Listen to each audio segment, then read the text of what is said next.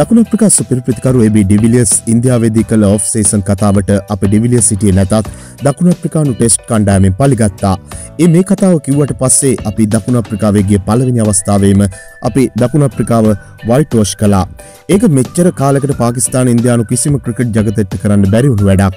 ලංකාව කියන්නේ හරි ඉක්මට නැගිටින කණ්ඩායමක් නැගිට්ට දවසට ප්‍රතිවාදයක් කවුද කියන එක අපිට අදාළ වෙන්න නැහැ. ඒ අතීතයට අයිති කතාවක් නෙමේ ශ්‍ර ලංකා ක්‍රඩකයන්ගේ ජානවල තියෙන දෙයක්. අපේ තරුණ ක්‍රඩකන්ට දක්ෂතාවෙන් අඩුවක් නැහැ හැබැයි මේ කාලෙ ශ්‍ර ලංකා කණ්ඩෑමන්නයම් පසු බෑමක මේ පසුබෑමෙන් අපි නැගිටින තරගාවලිය මීළඟට තියෙන ලෝකශූර එංගලන්තේ එක්ක වෙන්නත් පුළුවන්. මොකද අපි එංගලන්තේ අවසාන වතාවට ලෝක කුස්ලාන් තරගාවලිය හමුවන අවස්ථාවේ පරාද කළා කියන දේ අමතක කරන්න හොඳ නෑ. පසුගිය දවසක පාකිස්තාන කණ්ඩායම නියෝජනය කළ කම්රා නක්මාල් ශ්‍රී ලංකා කණ්ඩායම ගැන අපහසාත්මක කතාවක් කියලා තිබුණා.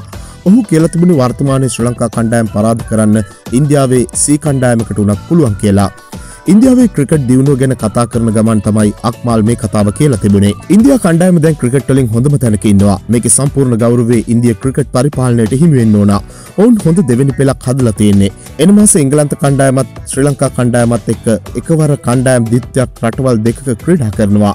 ඔවුන් හිතරන් ශක්තිමත්. ඔවුන් එකවර කණ්ඩායම් ත්‍රිත්‍යයක් ක්‍රීඩා කරවන්න තරන් සයමත්. මේ විශේෂ ස්තුති ඉන්දියාවේ දෙවනි පෙළ බාර රාහුල් ද්‍රාවිට්ට පිරිනවන්න ඕනා. ඔහු ඉන්දිය ක්‍රිකට් සමගින් වසර හතාටක් ළඟින්ම කටයුතු කරනවා. තරුණ ක්‍රඩකයන්ව ජාත්‍යන්තර මට්ටමට ගැලපෙන විදිහට හු නිර්මාණය කරනවා. ඊට පස්සේ තමයි ජාතික කණ්ඩෑමට එන්නේ.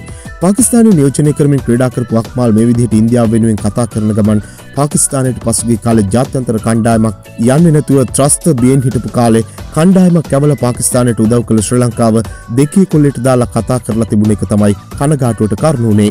ඉන්දියාව නායකයන් විදිහට මෑත කාලේ බැලුව මහින්ද්‍රසින් දෝනි ඉන්දිය කණ්ඩායම ඉතාම ඉහල් තැනකට රැගෙනවා.